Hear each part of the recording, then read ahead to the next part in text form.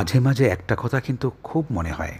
সেটা হলো, কোনো একজন বিখ্যাত বাঙালি পরিচালক যদি ঘরে বাইরে উপন্যাসটা নিয়ে ছবি করেন, আর তাতে বিমলা চরিত্রে যদি সুচিত্রা সেন অভিনয় করেন, তাহলে কেমন হয়?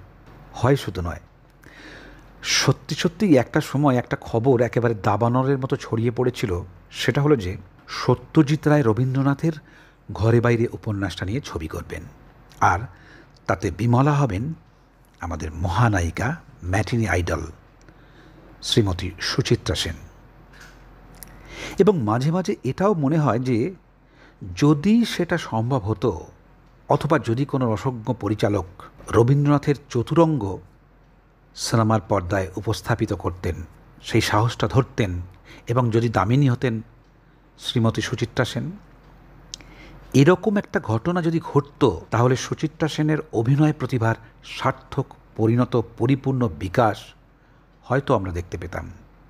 এবং অসাধারণ একজন অভিনেত্রী পেতেন তার যোগ্য সম্মান। প্রিয় বন্ধু, আমি তোমাদের সুতপন আর তোমরা আমার পডকাস্টে শুনছ কথায় কথায়। এই যে এতক্ষণ যে কথাগুলো বললাম, সেগুলো আমি নয়। সুচিত্রা সেন সম্পর্কে এই কথাগুলি বলেছেন সেকালের এক বিশিষ্ট চলচ্চিত্র সমালোচক জ্যোতির্ময় বসু রায়। এবং এই কথাটা কোনো মুখের কথা নয়, উড়িয়ে দেবার মতো নয়। তাঁর এই বিশ্লেষণ কিন্তু অত্যন্ত তাৎপর্যপূর্ণ। তিনি শ্রীমতী সেনের অভিনয় জীবনের একেবারে সঠিক মূল্যায়ন করেছেন। জ্যোতির্ময়বাবু ঠিকই বলেছেন যে সত্যজিৎ ঋত্বিক মৃণাল তপন সিংহের ছবিতে যদি অভিনয় করবার সুযোগ সুচিত্রা সেন পেতেন, তাহলে তার অভিনয় প্রতিভার সার্থক পরিণত পরিপূর্ণ বিকাশ করত। সত্যি তো? ভেবে দেখো তো। বাংলা ছবিতে সুচিত্রা সেন আর উত্তম কুমারের মতো এই মহানায়ক বা মহানায়িকা এর আগে কোনো দিন জন্মায়নি এবং জন্মাবেও না। কিন্তু মুশকিল হলো যে এরা কিন্তু একটা গণ্ডির মধ্যেই আটকে রইলেন সেই ম্যাটিনি আইডল হয়ে। ভাবতো সত্যজিৎ রায়ের ছবিতে মহানায়ক যদি মহানায়ক উত্তম কুমার না হতেন, তাহলে আমরা তাকে হিট নায়ক, সুপারহিট নায়ক ম্যাটিনি আইডল হিসাবে চিনেছি, ঠিক আছে। নতুন করে চেনার দরকার ছিল না। কিন্তু উত্তম কুমার যে কত বড় মাপের অভিনেতা, সেটাকে আমরা আবিষ্কার করতে পারতাম। ঠিক একই যুক্তি, সত্যজিৎ ঋত্বিক মৃণাল বা তপন সিংহের ছবিতে সুচিত্রা সেনকে আমরা দেখতে পাইনি। এবং সেই জন্য সুচিত্রা সেন ম্যাটিনি আইডল, অসংখ্য বাঙালির বা বাংলা ভাষা জানা মানুষের হার্টথ্রব সেই সময়ের। কিন্তু তিনি যে কত বড় মাপের অভিনেত্রী, সেটা কিন্তু আমাদের জানবার সুযোগ হলো না। ঘরে বাইরের পর সুচিত্রা সেনকে দিয়ে বঙ্কিমচন্দ্রের দেবী চৌধুরানী করতে চেয়েছিলেন সত্যজিৎ রায়। নাম ভূমিকায় অভিনয় করবার ইচ্ছেও ছিল শ্রীমতী সেনের। কিন্তু দুর্ভাগ্য, সত্যজিৎ রায় তাঁকে এক্সক্লুসিভ আর্টিস্ট হিসেবে চেয়েছিলেন বলেই তিনি রাজি হলেন না। প্রখ্যাত সাংবাদিক অমিতাভ চৌধুরীকে সুচিত্রা সেন এক বিশেষ সাক্ষাৎকারে এ প্রসঙ্গে বলেছেন, সত্যজিৎ রায় মহাশয়কে রিভিউজ করেছিলাম ষাটের দশকের শেষের দিকে। অন্য কেউ না, দেখো, কথাটা কিন্তু সুচিত্রা সেন নিজেই বলছেন। এবং তিনি বলছেন যে, তিনি আর তার প্রযোজক আর ডি বানসাল, সেই সময়ের এক নম্বর প্রযোজক, দুজনে আমার কাছে এসে হাজির। আমি তো খাতির করে তাদের এনে একেবারে বসালাম, আমার সাধ্যমতো যত্ন করলাম। এ কথা সে কথার পর সত্যজিৎবাবু অবশেষে বললেন তিনি বানসালের প্রযোজনায় বঙ্কিমচন্দ্রের দেবী চৌধুরানী করতে চলেছেন। আমি যদি নায়িকার পাঠ করতে রাজি হই, তাহলে তিনি খুশি হবেন। বেশ, আমি রাজি হলাম। বেশ, আমি রাজি হলাম। কিন্তু তিনি যখন বললেন, আপনাকে কিন্তু এক্সক্লুসিভ আর্টিস্ট হতে হবে। ব্যাস, তার মানে? তার মানে তিনি বললেন যে, আপনার কিন্তু অন্য কোনো সিনেমায় অভিনয় করা চলবে না। যতদিন আমার এই ছবিতে কাজ করবেন। সুচিত্রা সেন বললেন, তা কী করে হয়? যারা আমাকে আজকে সুচিত্রা সেন বানিয়েছেন, তাদের তো একেবারে বাদ দেওয়া চলবে না। এখনই আমি দু দুটো ছবিতে সাইন করে কাজ করছি। তবে হ্যাঁ আমি আপনাকে কথা দিলাম, আপনার ছবিতে বেশি সময় দেব এবং অবশ্যই মন, প্রাণ ঢেলে অভিনয় করব।